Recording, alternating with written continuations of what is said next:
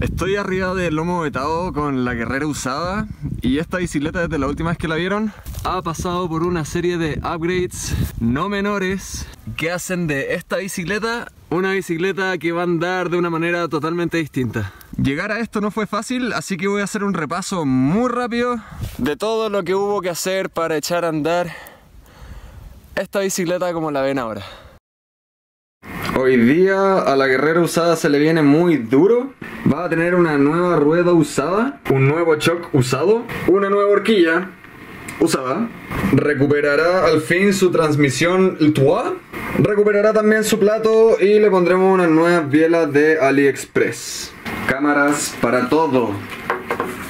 todo. No.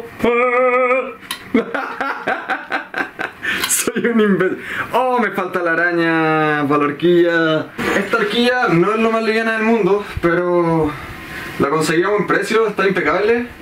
Oh, te voy a sacar el. Ah, este sale así. Oh, todas las horquillas deberían ser así. Hermoso.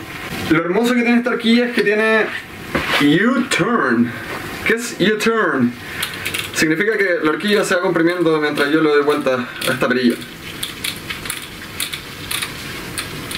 Y ahora creo que tenemos 110 o 120. Después nos vamos a preocupar de esto. Por ahora. Oh, te, te, te, oh. Uh, esto se empieza a poner sexy.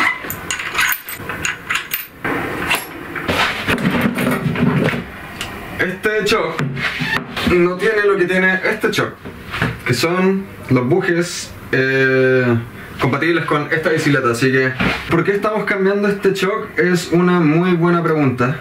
Estaba dando fondo todos los días, muchas veces al día, así que me puse a buscar un resorte para mantener este shock, pero no encontré ni un resorte compatible con Mr. X-Fusion. Eh, busqué, créanme, realmente lo intenté, no lo logré, así que ahora estamos con este otro shock, que de hecho lo que más me interesaba era el resorte, pero resulta que el shock está en buen estado, así que lo vamos a cambiar completo y este resorte es de 750 libras, es casi el doble. Mm, quizás la bicicleta va a andar un poco más áspera, pero no va a fondear tanto. ¡Waco!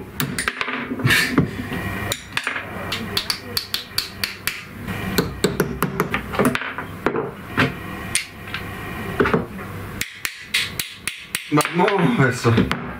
Listo. Ahí tenemos los cuatro que necesitamos. Hay que sacar estos.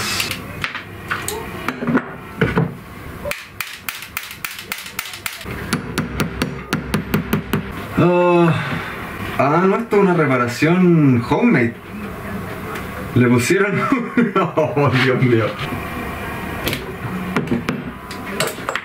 Probablemente no tenían bujes y le pusieron le pusieron un tipo de laina de goma y está hecho bolsa el pobre. Este shock quizás puede estar en buen estado funcional, pero los bujes están más pegados que... Ahí va. Ahí fue, cáchate. Esto está más seco que... Esto es el riesgo de comprar usado parte 25.000. Oh, Dios. ¿Hasta acá no me llegamos, weón? Sospechosamente encontré todo lo que tenía que que comprar. Estos son, no me acuerdo el nombre, lo noté. Son casquillos. Los casquillos van aquí. Tenemos que encontrar la manera. Uy, no entra. Oh, yo sabía que algo tenía que salir mal. Final, finalmente está todo mal. Esto no entra acá. Y en los bujes, esto tampoco. Necesito otra solución. Es otro día y me acabo de agarrar con esta bicicleta que es una guerrera y no va a ceder sin dar pelea. Para quienes recuerdan cómo metimos ese motor allá adentro, probablemente saben lo que sigue. Oh, no se mueve a ningún lado. Oh, oh shit.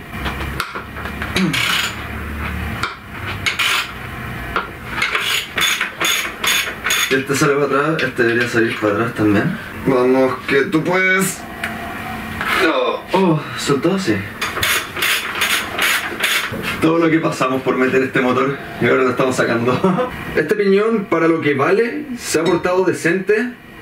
Tiene algunos arañazos de la cadena, pero Se ve hermoso. Este es el left side y esta debería ser la que entra por acá, que es nuestro hilo hecho bolsa. Le voy a echar un poco de grasa. No quiero romper este hilo. Esto puede tomar un tiempo. ¿Entró? Entró. No te aprietes mucho. No, no quedó tan mal el hilo de, de esta cosa. Los motores integrados son, son una solución mucho más inteligente desde mi punto de vista. Porque al final del día son dos rodamientos y las bielas. Tener un motor macizo como este es una cantidad de peso brutal para meter dos rodamientos y un eje que también es macizo en vez de hacer que las bielas vengan con su propio eje y que simplemente pasen por el rodamiento. Mucho bla bla, ojalá que estaba entre. Mm, listo. Se ve bien, se ve bien. Este debería entrar ultra fácil, ahí está. Y la guerrera va a tener eje integrado ahora. Bien, listo. No, que tú puedes.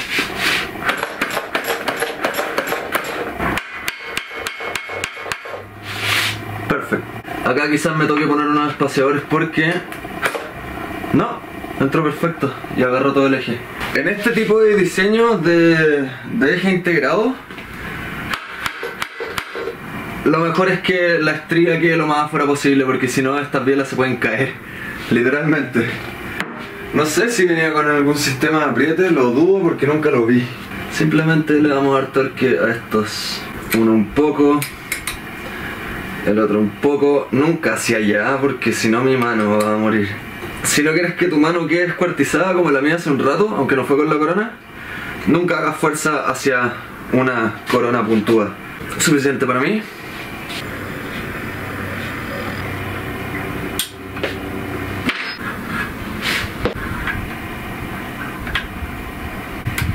Que tú puedes... Ay. Miren esa maravilla, por favor. Esto si tú lo enroscas en el sentido de la viola, desaparecen todos los cables. Si es que no está uno muy doblado. Listo. Como algunos quizás ya se pudieron dar cuenta, esta horquilla es eje de 20. 26 vieja escuela y William Seymour, uno de mis patrones, amablemente me ofreció esta rueda que tiene eje de 20. Está en buen estado, pero todos sabemos que este neumático es bastante penoso. Voy a cambiar disco por el de 180 y voy a cambiar el neumático, que este era mm, decente, para dejar los neumáticos originales de la guerrera. El Ninja B-Rider es de la vieja escuela, pero no tiene ni un poco de agarre. Como que lo diseñaron para que desagarre. El rim tape. Oh, está hecho bolsa. Oh, estas bicicletas son pura sorpresa. Ya que no tengo ni un tape decente, vamos a aplicar la vieja técnica de la camarita. Válvula.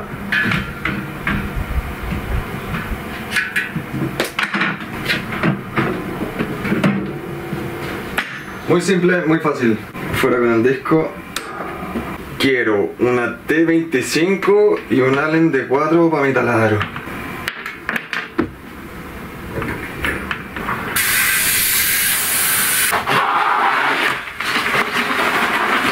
Esto tuvo látex alguna vez. De aquí podríamos haber sacado el rim strip.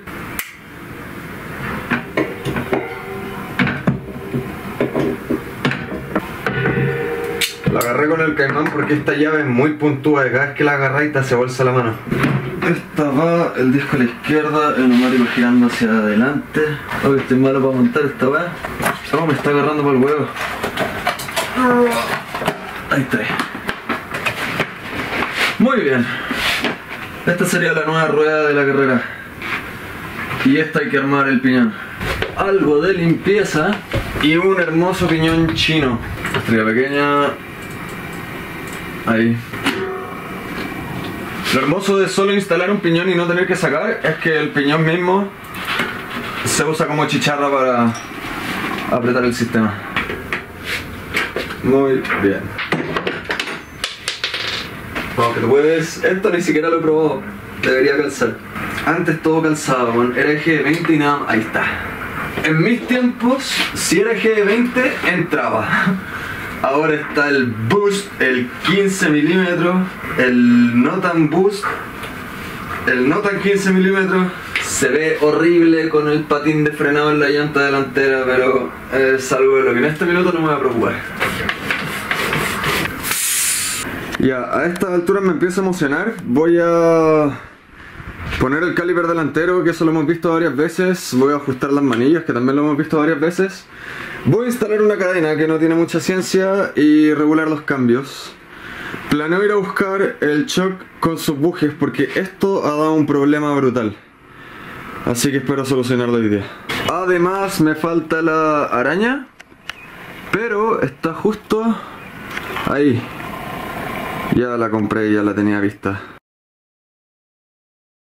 Acaba de llegar el momento que tanto estuve esperando. Tenemos al fin puestos los... Para bien o para mal tenemos los bujes puestos, así que los vamos a instalar. No me gusta nada. Acá adelante entramos, parece. ¡Oh! Persuasión. Está apretado y ya no hace nada. Algo le pasó a estos bujes. Entran en el marco muy apretados, pero el, pasador no, no entra por ningún lado. Claro que si entra no lo voy a poder sacar nunca más. Estaba salido pésimo, ¿por qué tan mal, weón? Ah, No entra más que eso. Ah. Mi paciencia llegó a un punto límite.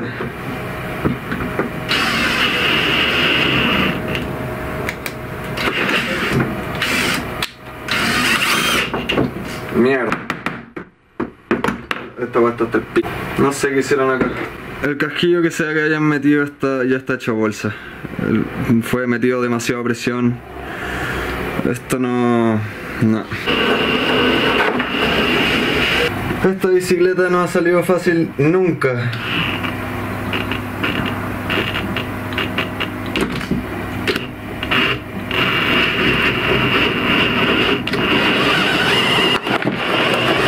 Ahora tengo el problema de que sé que esto no va a deslizar en esto y este buje va a valer callampa. Esto se suponía que iba a ser más simple, weón. Una pega de taller que salió pésimo. Espero que no salga flotando por el otro lado la weá.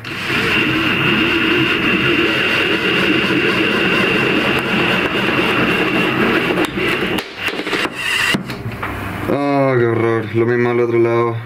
No tengo prensa, estoy, estoy, haciendo lo que puedo con lo que tengo, nomás estoy.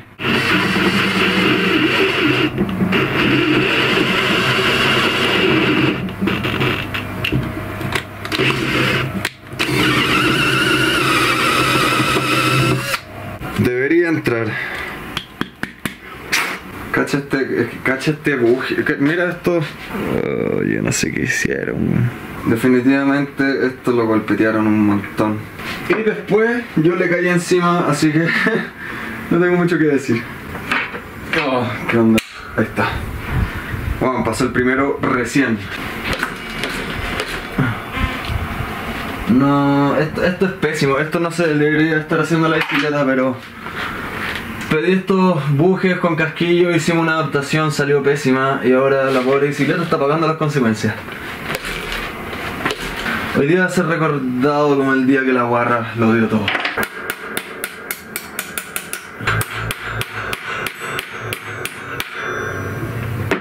Pasó, Pac-Man de vuelta.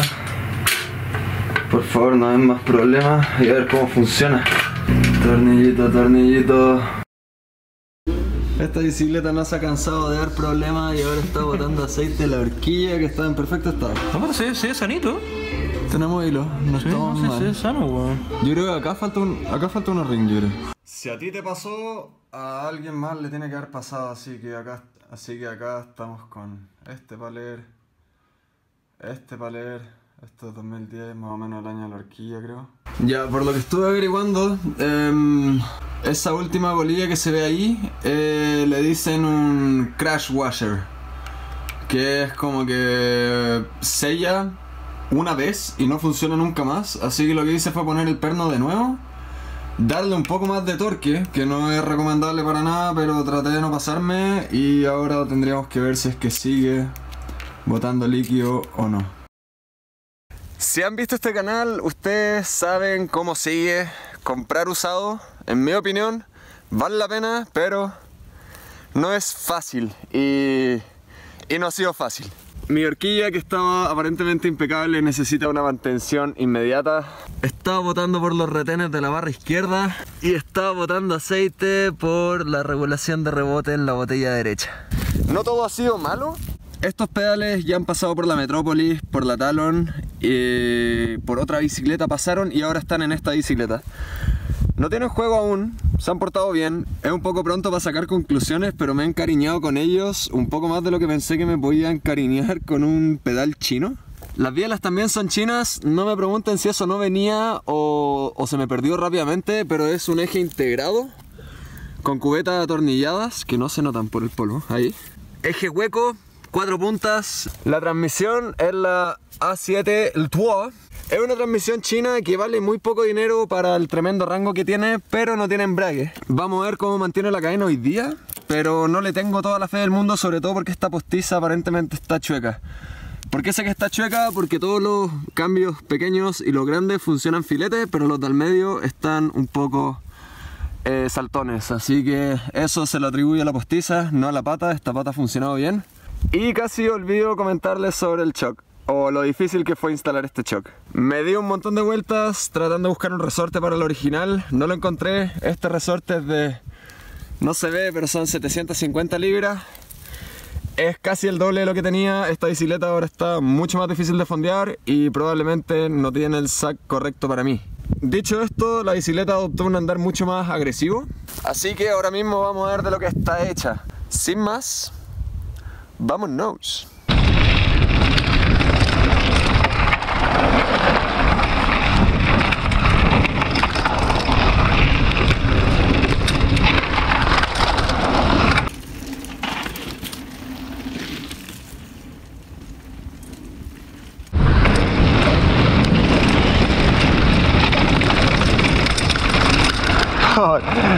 Está muy duro el cuadro, pero amortigua todo el zapateo.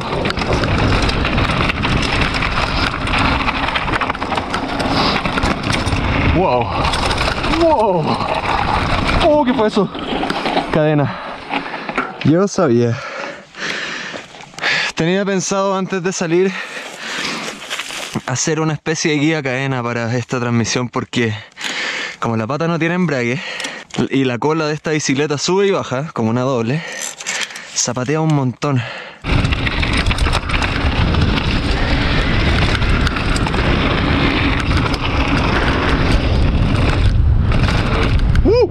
Oh, ¿Cómo amortiguó ese golpe, weón? La guerrera. ¡Woo! ¡Woo! ¡Ay, se pasó lo ágil que es! Creo que se me cayó la cadena de... No. Ahí está. ¡Woo! ¡Oh! ¡Oh! Se mueve muy rápido.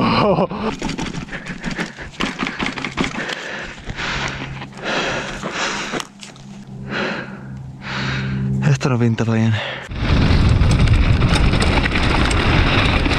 La horquilla botando aceite y todo trabaja brutal. Me gustaría hacerle una toma, pero no tengo la montura de la cámara. Se me quedó en la casa.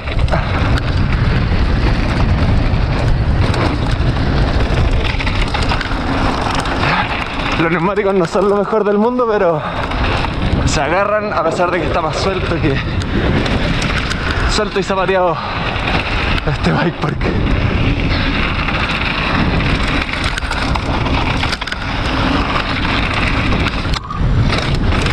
Estoy tirando los caballitos con más cuidado porque como me queda chica, es demasiado ágil. Se me escapa debajo del cuerpo.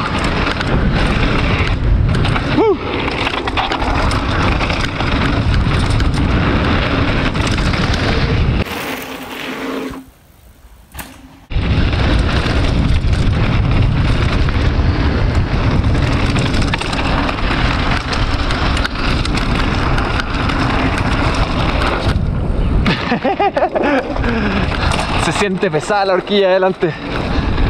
La tiráis y se empunta un poco igual, hay que acostumbrarse.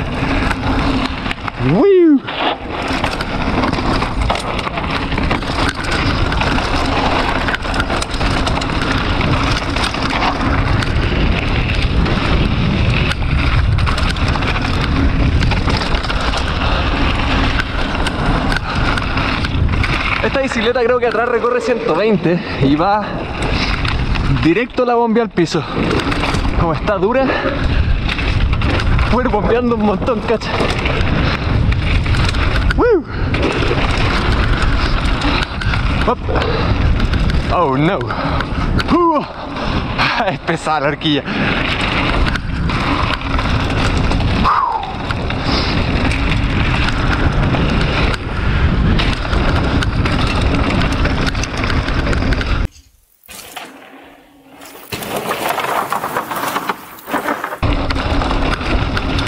Oh. Oh. Oh. Oh. Oh. Tiende a ir de punta la bicicleta.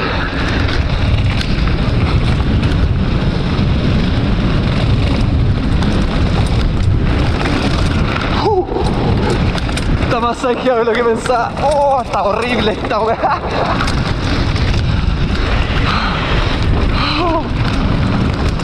Oh.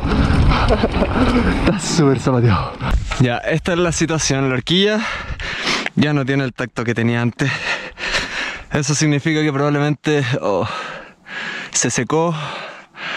Ya no le queda nada. Necesito una muy buena mantención. No quiero rayar las barras, así que esta es la última bajada firme que vamos a hacer.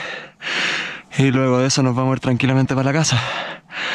Ya que esta horquilla si bien se veía en muy buen estado, estaba tremendamente mala por dentro.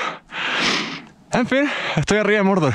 Me preguntaron un montón qué cámara era la que flotaba, o si era un dron o qué cosa. Es una cámara 360 que me compré hace mucho tiempo y no le había dado el uso que le debería haber dado. La voy a dejar por ahí nomás para no pegarla nada. Ahí está en video. Ahora está grabando. Y desde ahí sale esa toma extraña que me veo como flotando, siendo perseguido por una esfera de imágenes que yo decido si la apunto hacia acá, si la apunto hacia atrás, si la apunto para donde yo quiera. Así que vamos a fijar esto un poco mejor. Y nos vamos a Mordor antes de destruir la horquilla, qué pena, weón. Ya, esta bici se da de punta. Vamos a tratar de contrarrestar.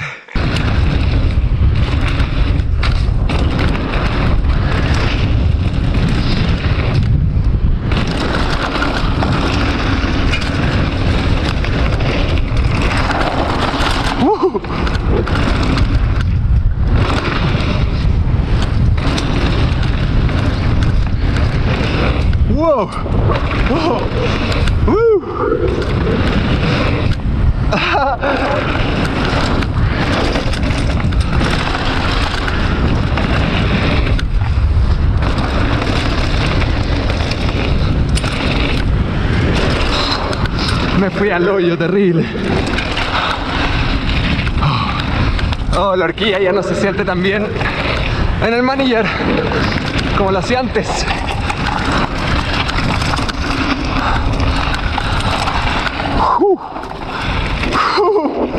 Oh Dios. Oh Dios. Uh.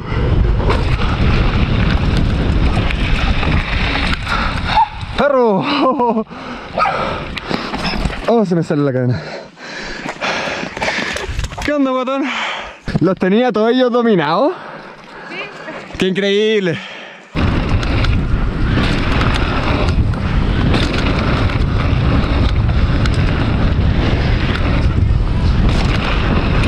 Wow. Mejor no. Ante la duda no hay que matar al perro. La guerrera usada recibió un maltrato brutal. Se nota en la horquilla que está hecha un desastre. Esto es el riesgo de comprar usado. No la vi venir y va a necesitar una mantención urgente. La rueda de William Seymour funcionó perfecto. William, muchas gracias por apoyarme con esto.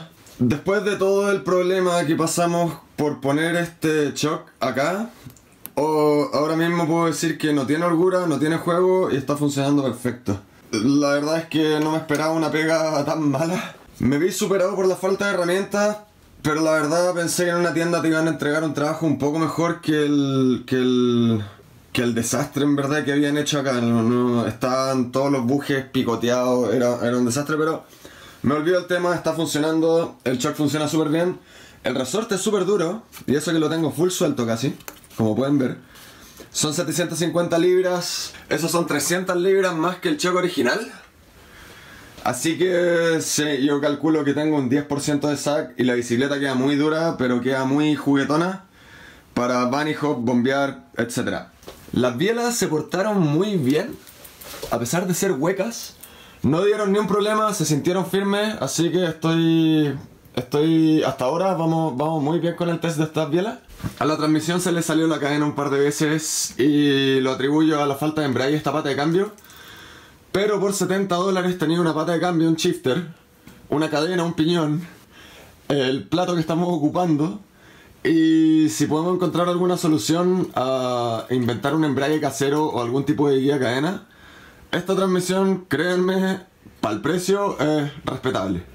El manillar le puse uno con un poco más de altura, la verdad casi ni se nota, pero sí, tiene un poco más de altura. Si hubiese querido más altura, podría haber movido ese espaciador. Bastante inteligente, Germán. Y los pedales no los tenemos porque estos ya son los pedales de cualquier bicicleta. Los estoy ocupando en todas. Ahora mismo están montados en una Trip que llegó hace poquito, que hasta la vieron en Instagram, en Patreon.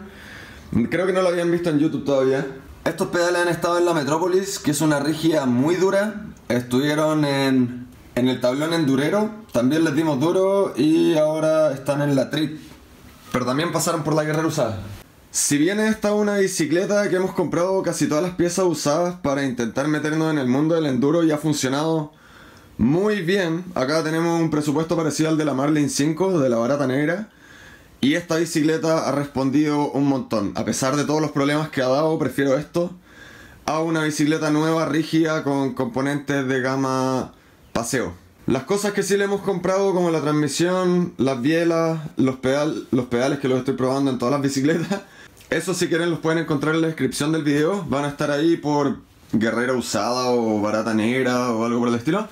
Y si bien esta bicicleta no cumplió todo lo que esperábamos esta salida, vamos a hacer la mantención en la horquilla, vamos a intentar hacer un buen guía cadena. ¿Había algo más que teníamos que hacer? ¿Qué más teníamos que hacer? Y lo que sea que tengamos que hacer, lo vamos a hacer o se lo vamos a inventar. Así que si te gustó este video de la guerrera usada, dándolo todo con nuevos componentes usados y botando aceite como loca, dale un like. Si tienes algún amigo que le gustaría tener una referencia de lo que implica comprar una bicicleta usada, todos los dolores de cabeza que te puede dar, pero también todas las satisfacciones, compárteselo y suscríbete al canal para seguir viendo videos de este estilo. Nos vemos en el cerro.